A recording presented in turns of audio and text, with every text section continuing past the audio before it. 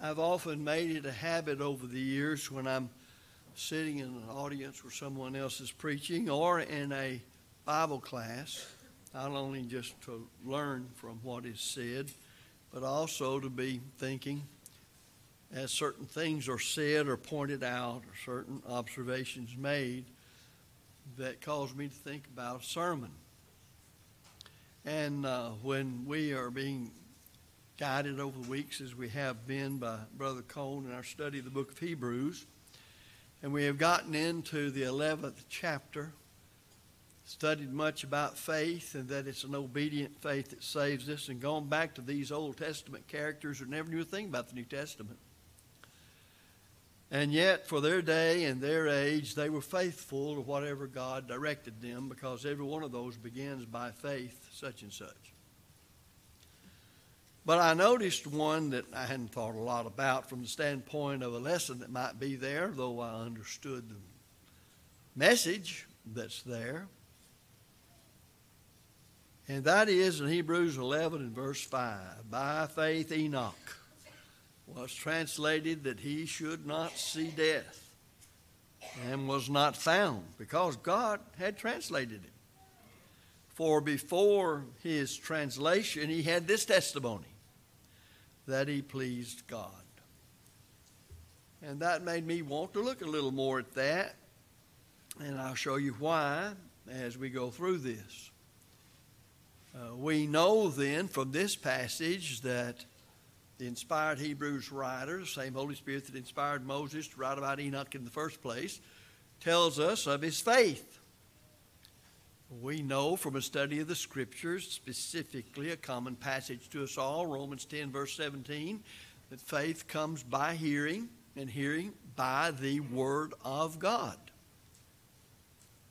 Thus, this man had heard the will of God for his day and time and since he acted by faith, he was then doing what God required of them. He certainly knew the principle that's true, whether it's the patriarchal age, Mosaical age, or the Christian age, that the conclusion of the whole matter is to fear God and keep his commandments, for this is the whole duty of man. Ecclesiastes 12, verse 13. And also in the New Testament, we learn about him in Jude 1 and verse 14 and we learn that he was a prophet. Scripture reads Enoch, also the seventh from Adam, prophesied. Prophet is a forth teller. He is a person who speaks only the words God puts in his mouth to speak. Somebody has said he's like the old terminology used by the gangs about their lawyer The prophet is the mouthpiece of God. He's to say nothing but what God reveals to him to say. So he primarily was a teacher, as all prophets were. So I learned something about him there. But I don't want to end up with those and what is said in verse 5, other than to emphasize that when Paul wrote in 2 Corinthians 5 and verse 7, For we walk by faith and not by sight, that that certainly applied to Enoch. Remember, faith comes by hearing the Word of God. Well, if we walk by faith and not by sight, then we're walking as the Word of God leads, guides, and directs us. So he certainly could be described as one who walked by faith and not by sight, because it was by faith that the Scripture says Enoch was translated, that he should not see death. Now, with all that before us, I want us to go back and read Genesis 5 verses 21 through 23. And Enoch lived 65 years and begat Methuselah. And Enoch walked with God after he begat Methuselah 300 years and begat sons and daughters. And all the days of Enoch was 365 years. Verse 24. And Enoch walked with God and he was not, for God took him. Therein, uh, I want to focus. I want to notice Enoch's walk with God in the light of what we've already said from the Hebrew epistle. By faith, Enoch was thus and so. and that he was a prophet of God. So, in this sermon, in doing that, Enoch's walk with God, I want to study several things that are implied about this man Enoch, who we already know was a faithful man, that Moses had to say about him. I say implied, what we can milk from these verses that will help you and me to be faithful to God today, and if you please, to do as Enoch did walk with God. First of all, we would see that this implies his conduct. Now, all of us do things. All of us are active in certain things to a certain extent. That's our conduct. So, what does proper conduct entail? The question should be are you prepared to walk with God? Which tells me Enoch had to be preparing himself to do what the scripture says he did. Well, you know, that didn't begin just with him because the scripture's full of material regarding the responsibility of parents. In Proverbs 22 6, train up a child in the way he should go, and when he is old, he will not depart from it. Well, that doesn't teach the impossibility of apostasy. It does teach, when you look at the Hebrew especially, in the way he should go means literally according to the tenor of his way. Some parents make mistakes at times because they try to make their children over in their own mold. I think particularly that has to do with fathers who want their boys to be the best football players or baseball players in the world, and they just know that when they get grown, they'll be noted as a star in the major leagues. Rarely happens. Especially if that child's bent is toward books or toward music or toward something like that. What is being said here in Proverbs 22 6 is parents, Yes, genetically, he's from you and all your genetic line. But he also has a spirit fathered by God that bears that imprint. And you need to recognize, even if you have 10 kids, you need to recognize some may just have a natural bent, is the way we say it, a natural inclination to go a certain way. And don't try to make him go away. He's not naturally inclined to. Be sensible enough and wise enough and that's what he's saying here to direct him in that way. Now, of course, you would be, if you do that, uh, better helping him to get ready to receive the gospel. This is not a passage that talks about here's a way to guarantee your kid won't go to hell. It has nothing to do with it. It has to do, because there is no passage that teaches that. That is the impossibility of apostasy. It's impossible to find that passage. The simple reason it's not there. This is talking about parents being wise in rearing their children. Christian parents are taught to raise them in the nurture and admonition of the Lord. That's spiritual emphasis. And how they can uh, make a living in life and make a living here getting ready for heaven. But in making that living in life, some may have a bent toward athletics, some may have a bent toward whatever it might be. Now, in your mind, you may say, I don't like him being that. I don't even think about that. I don't know why. Sometimes parents have done this for years. Will look at their little children and say, What do you want to be when you grow up? All the time, they're hoping that they will admit they want to be what mom and daddy, or at least daddy, wants them to be. But they may say, I want to be a witch doctor. Well, I don't know what they're going to do about that because they don't realize is a child speaks as a child, and when he becomes a man, he puts away childish things. But there is a bent, if you want to call it that, to every one of us as children. So that's what's being said there. Enoch was reared, I think we can say, in his day and age with the revelation of God available to them, so that he would be a man of faith. So there's personal preparation. Personal preparation. What about you? He had to consider the cost to serve God in that bygone age. Jesus taught about that, Luke 14, beginning verse 28, the verses following. We sing a song sometimes, have we counted the cost? Are we willing to count the cost of what it means if I faithfully serve God all my life? What I'll give up, what I'll take on, who I associate with, how will I conduct myself, how will I think, what will I read?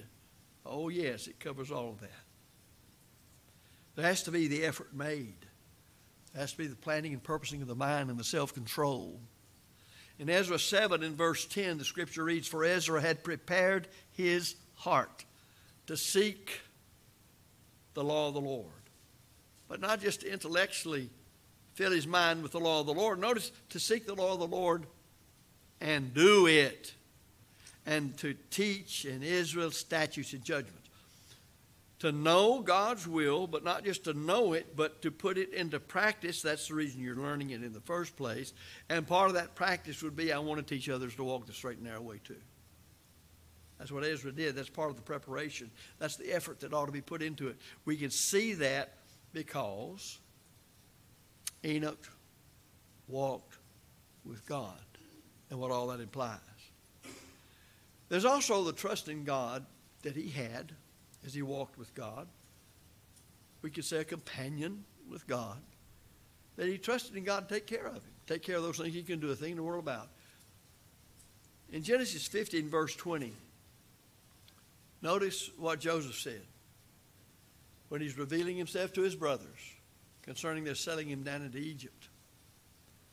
But as for you, ye thought evil against me. Now watch. But God meant it unto good. For what purpose? To bring to pass, as it is this day, to save much people alive. What a thought. That evil can come upon me and people can mean to do evil to me, but if I stay true to that book, I continue to walk with God. Doors will be opened, as I said in class this morning. My way will be directed. Well, I just don't see how I can do it. Yeah, but you're not God. My trust is in God. I walk with God. My faith is in God and His way. He will take care of me. So I have to practice it. I have to keep on keeping on. It's not a one time action, it is continual obedience. He's the author of eternal salvation, Jesus is, unto all them that obey him. So I know this walk with God was him obeying God, doing what God told him the way he told him for the reason he told him. In James 1 and verse 22, we have that same admonition to you and me as members of the church but be ye doers of the word and not hearers only. Enoch wasn't a hearer only. Because if he had been, he would have deceived himself.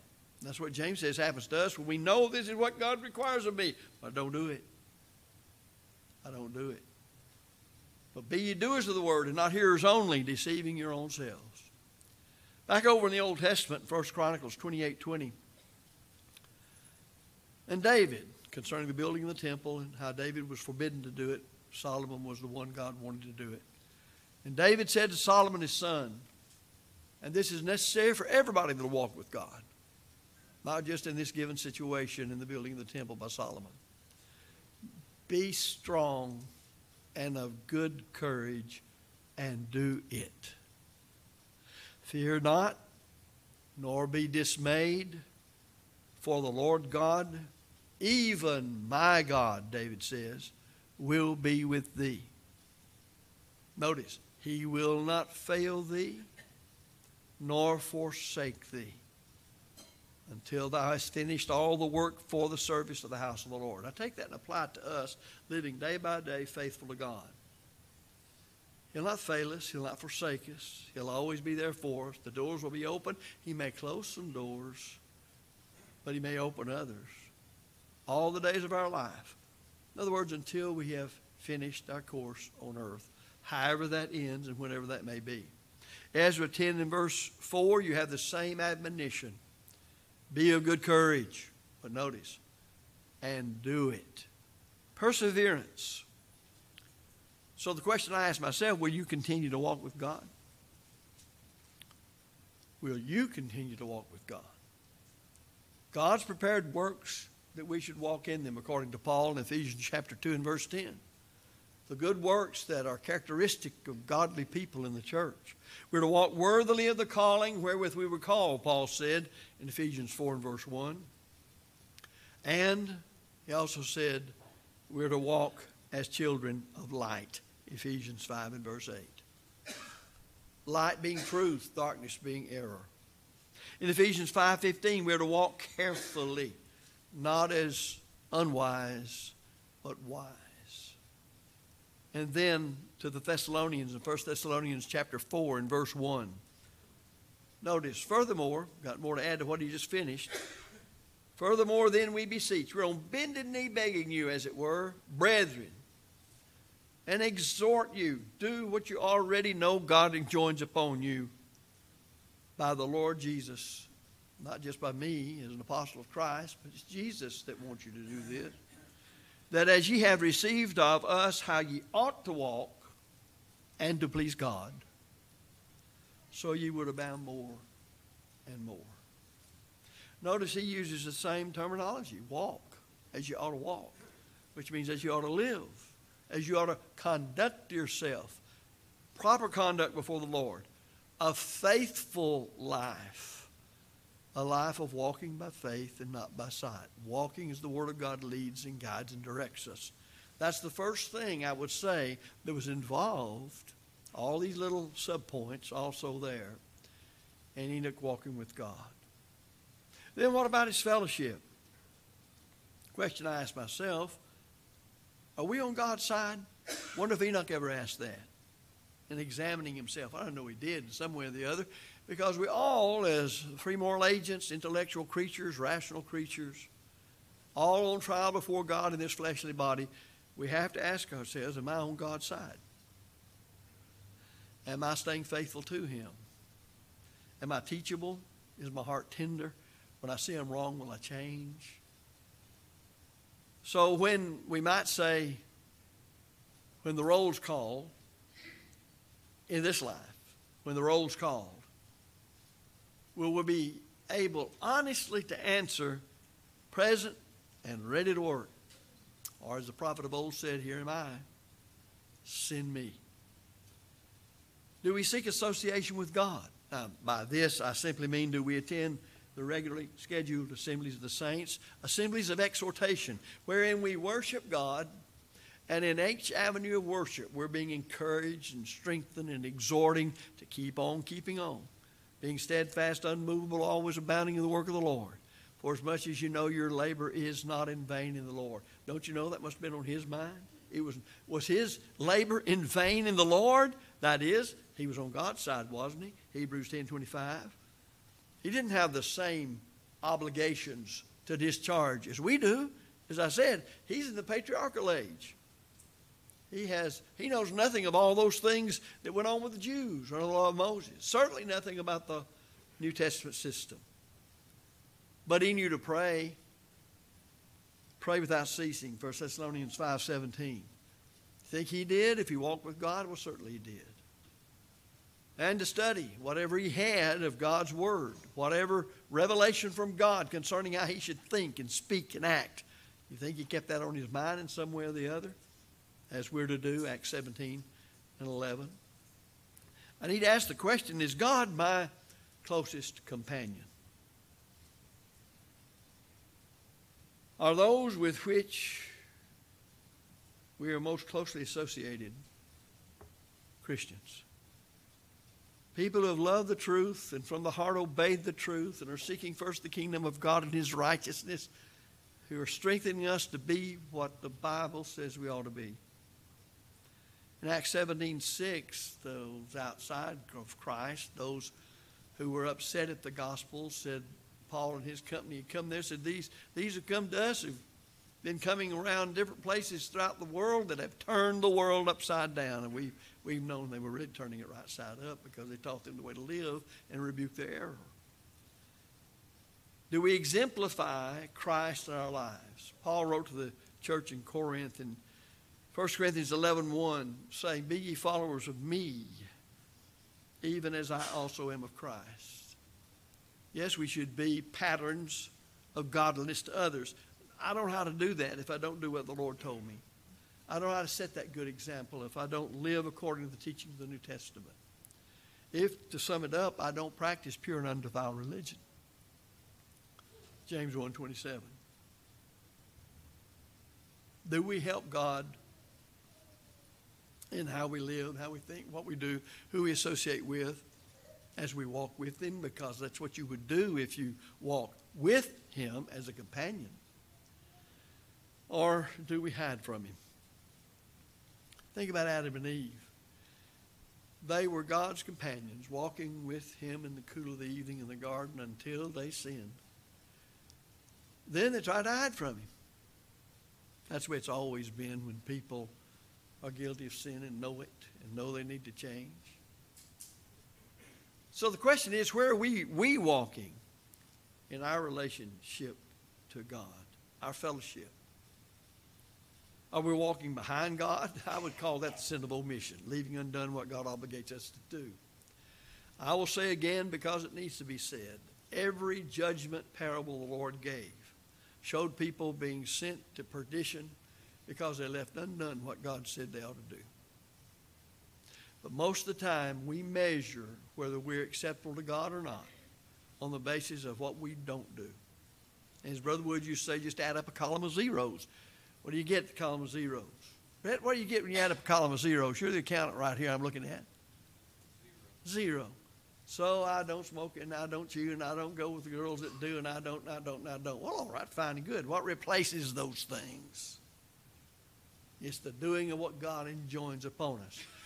And the reason I believe firmly that the Lord showed in the judgment parables those who were lost or those who left undone what God expected them to do to be faithful is because it is so easy for us to overlook the things we ought to be doing. Therefore, James wrote, To him that knoweth to do good and doeth it not, to him it is sin. James 4 and verse 17. Can't get plainer than that. Do you think that ever impacted Enoch? You think he was concerned about those things? Could he really be described accurately as walking with God if the things we've been studying here were not incorporated to his life as a part of his everyday living? Are we walking, maybe we should say, rather than behind God, letting that represent sins of omission, are we walking in front of them? We call that sin of commission. John had this to say. Remember, he wrote this to Christians. Two. 2 John 9, Whosoever transgresseth and abideth not in the doctrine of Christ hath not God. He that abideth in the doctrine of Christ hath both the Father and the Son. When I know God enjoins this upon me and I just violate it, I just break it. Such as Adam did when he partook of the forbidden fruit. He knew better, but he did it anyway. Then that's a sin of commission. So maybe I should ask, because there are a lot of people today that want to loose us from what God and His Word is bound on us to give us greater freedom and liberty than the Word does. But God knows what we need better than we do, so we love the restrictions of God. It keeps us out of scrapes that we don't need to be in. He knows how to guide us if we will simply submit to His will. So are we walking next to God, not behind Him, not in front of Him, but next to Him? John, I think, had something to say about that to Christians in 1 John 1 7. But if we walk in the light as He is in the light, we have fellowship one with another and the blood of Jesus Christ, his Son, cleanseth us from all sin. Now, I want you to think about that. That long time ago, before the flood, patriarchal age, I want you to think about Enoch walking with God. And I want you to think about what that meant about the character of that man as he lived according to the truth he had that God gave him in that far off age. How many of us uh, agree with God? A lot of people don't. Amos 3 3 reads, Can two walk together except they be agreed? Well, can you walk together with God? That's two, you and God. If you're not agreed with submitting to Him, I believe from the study of the Scriptures that Enoch was one who agreed with God, who submitted to God, who kept God's commandments. God will not be around those. God will not companion with those who are not holy. Peter wrote to Christians also in 1 Peter 1 15 through 16. But as he which hath called you is holy, so be ye holy in all manner of conversation, because it is written, Be ye holy, for I am holy. 1 Peter 1 15 through 16 again. Brethren, God's made it so we can be holy. Isn't that wonderful? He didn't say, Be ye holy, ha ha, you can't, so you're going to hell. He didn't say that. He's made a system whereby we can be holy. God's not going to be around those who are not righteous. He said to the church in Rome in Romans 6:13, "Neither yield ye your members as instruments of unrighteousness unto sin, but yield yourselves unto God as those that are alive from the dead, and your members as instruments of righteousness unto God." Now, think of that walking with God that Enoch did, and you'll see this had to be an integral part of his thinking and actions. God's not going to be around those who are impure. John wrote again to Christians, 1 John 3, verses 2 and 3. Beloved, now we are the sons of God. That's a wonderful thing to be able to say that. Now we are the sons of God and it doth not yet appear what we shall be. But what do we know? Well, he says, but we know that when he shall appear, we shall be like him, for we shall see him as he is. And every man that hath this hope, this expectation of eternal life, of being like him, every man that hath this hope in him purifieth himself, even as he is pure. Well, for his day and time, I cannot help believe that when I read that he walked with God, that that must have covered his whole attitude and his fellowship and how one today under the gospel system, the gospel is God's power to save, Romans 1.16. When we believe and from the heart obey it, Romans 6, 17 and 18, Romans 6, 3 and 4, then the Lord adds us to the church. We're baptized into Christ, Galatians 3, 26 and 27. The Lord as I said, adds us to his church. We're born of water and the Spirit, John 3, 3 and 5, Acts 2, 47. We are his. We're children of God. We're new creatures in Christ. Thus we live in fellowship with God and with others who've done likewise. And the last point is his disposition of heart, Enoch's disposition of heart, his inward man. We're talking about his purpose. What is behind one's attitude? or his frame of mind or his mindset. Well, I've already mentioned this in the beginning, but here's one thing. Let us hear the conclusion of the whole matter.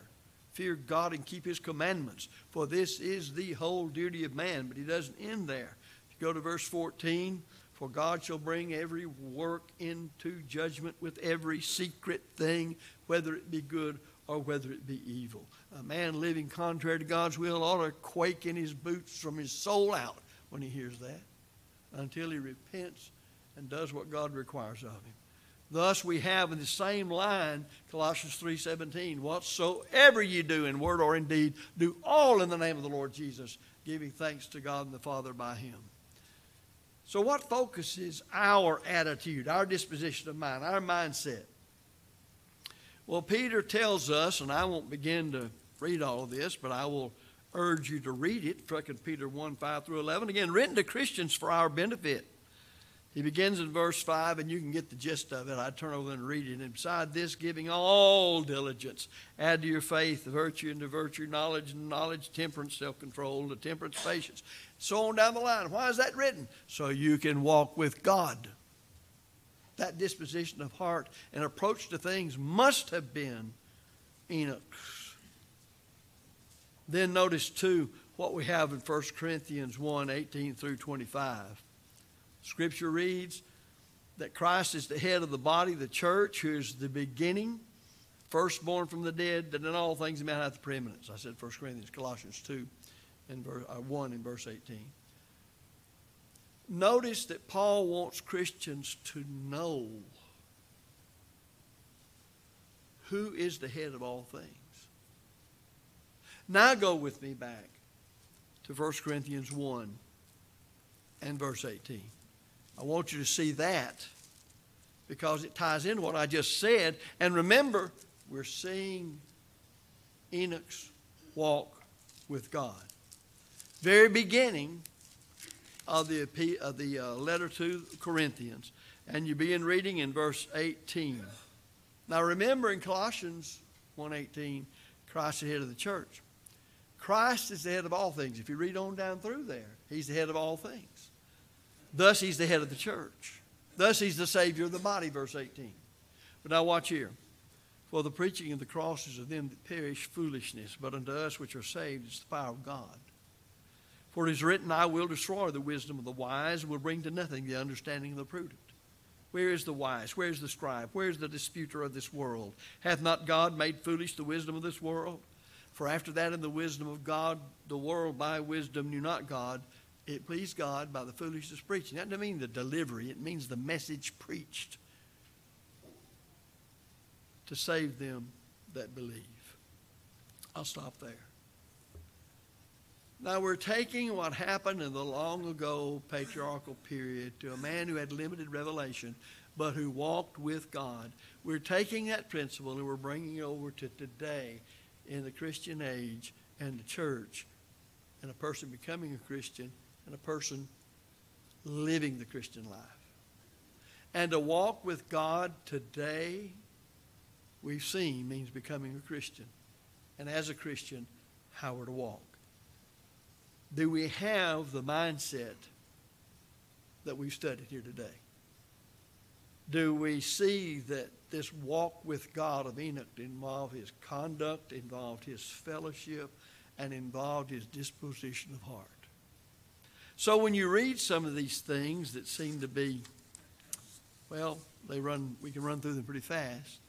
You can understand that God then took that man as he was living, walking with God, and just translated him. He didn't see death. He didn't see death. That's an amazing thing. Now, James tells us that the body apart from the spirit is dead. Body's dead, spirit goes on, but there's no process of dying with Enoch. He just translates him. I've often wondered about that. I still wonder about it. But I know it was because he walked with God, and all that implies that God translated. And it's written there for our learning, Romans 15 4. So, what can I learn about it? That I'm going to be translated not see death? No, Hebrews 9 in verse 27. It's appointed unto men once to die, and after that the judgment. But it tells me that I don't have to fear what's going to happen to me at the end of my life. God's going to take care of me. I like to think of the children of Israel when they were crossing to their promised land, the River Jordan. And the priest, who we are in the Christian dispensation as part of the temple of God, the church, we are the priest. Christ is our high priest. And at that time, as the priest bore the Ark of the Covenant between Israel and God, they came upon a raging river, for we learned that it was a time of flood stage, and they were told to cross it. And those priests bearing the Ark of the Covenant, when the soles of their feet touched that water, it all ran off to the south and it built up and stopped here. And as long as those priests stood in the midst of the River Jordan, it all stayed that way. And all of Israel passed over Jordan. Than I think of the time coming when all of us, the Lord does not come back first, must cross Jordan River. But I know from that shadow of things to come that when my feet, as it were, touch the rolling Jordan River, the gap's going to be opened. And across it we will go because I'm in covenant relationship with God. I'm one of his children. I walk with God on this earth. And the only way one can but we walk by faith and not by sight. And faith comes by hearing, and hearing the Word of God. That day will come to us all, And like Lazarus of old, I hope there will be, and I see no reason not to believe it, that a band of angels comes to welcome us and escort us into glory as we cross over Jordan. I won't have to cross Jordan alone. If you're subject to the Lord's invitation because you're not walking with God, you're not faithful. Obey the gospel as we studied. As a child of God, are you walking with God like you ought to and like He expects of you and like you must? Not, repent of whatever sin or sins there are that's stopping you. Confess them and pray God for forgiveness.